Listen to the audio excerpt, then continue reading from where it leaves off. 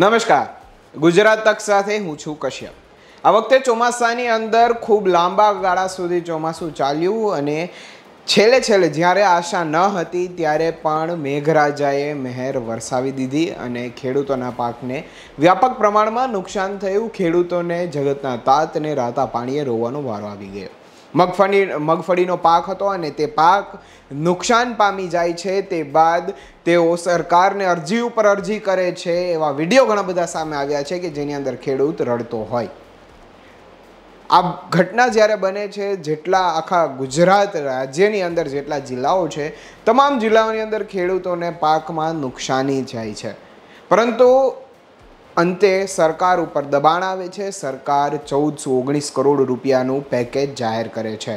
રાહત પેકેજ જાહેર તો કરી દીધું સરકારે, પરંતુ તેની અંદર વીસ જ જિલ્લાઓના નામ સામેલ કરવામાં આવ્યા અને આ વીસ જિલ્લાઓની અંદર અમરેલીનું નામ ક્યાંય હતું જ નહીં. અમરેલી જિલ્લાના ખેડૂતોમાં ભારે રોષ છે અને ત્યારે જ કોંગ્રેસ અને તેના કાર્યકર્તાઓ સાથે મળી અને રોડ ઉપર રસ્તા રોકો આંદોલન કરી રહ્યા છે, રસ્તા ઉપર સૂઈ અને પોતાની માગ પૂરી કરવાની જય જવાન, જય કિસાન અને સરકાર વિરોધી નારા લગાવી અને પોતાનો વિરોધ પ્રદર્શન કરતા તેમણે શું કહ્યું? સાંભળો. સમગ્ર ગુજરાતની અંદર અતિવૃષ્ટિ થઈ છે. અતિવૃષ્ટિની અંદર વીસ જિલ્લાને વીસ જિલ્લાને અતિવૃષ્ટિની અંદર સમાવેશ કર્યો છે સહાય આપવા માટે. જ્યારે મારા અમરેલી જિલ્લાને ઘણા સમયથી આવી જ રીતે અમરેલી જિલ્લા સાથે ઓરમાયું વર્તન કરવામાં આવે છે. સરકાર દ્વારા અને આજે અમરેલી જિલ્લાને ફરીથી બાકાત રાખવામાં આવ્યો છે. જેને લઈને આજે અમે રસ્તા રોકો આંદોલન રીતિ સીધી ચોકે કર્યું છે. અને કહેવાનું એવું છે કે સાવરકુંડલા માત્ર નહીં, અમરેલી જિલ્લાની અંદર પાંચ પાંચ ધારાસભ્યો અને અમરેલી જિલ્લાએ પાર્લામેન્ટની અંદર ત્રણ સાંસદ સભ્યો અહીંથી મોકલ્યા હોય. અને જો અમરેલી જિલ્લાને પેલા સહાયથી વંચિત રાખવામાં આવતો હોય, તો એ અમે ખેડૂતો ક્યારેય સહન નહીં કરીએ અને ક્યારેય ચલાવીએ શું નહીં. અને આગળ આને માટે જે કઈ રણનીતિ ઘડવી પડશે એ ઘડવા માટે અમે તૈયાર છીએ. સરકારનો ઘેરાવ કરવો પડે.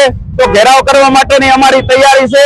જો આવતા પાંચથી સાત દિવસમાં અમરેલી જિલ્લાની અંદર સર્વે શરૂ નહીં કરવામાં આવે, તો અહીંયાથી ગાંધીનગર સુધી અમે ઉગ્ર આંદોલન કરી અને સરકારના કાન બંબેવાનું કામ કરશું. સાવરકુંડલા શહેર કોંગ્રેસ દ્વારા રોજભેર આવેદન પત્ર આપવામાં આવે છે અને ચક્કાજામ કરી સરકારની આ અન્યાય નિર્ણયની સામે વિરોધ પ્રદર્શન કરવામાં આવ્યું. ખેર, આ તો ઠેર ઠેર થઈ રહ્યું છે અને જે જિલ્લાઓના નામ નથી, ત્યાં પણ ખેડૂતોનો રોષ છે અને રોષ સરકાર સામે ઠાલવી રહ્યા છે, જેને અત્યારે કોંગ્રેસ સપોર્ટ કરી રહી છે.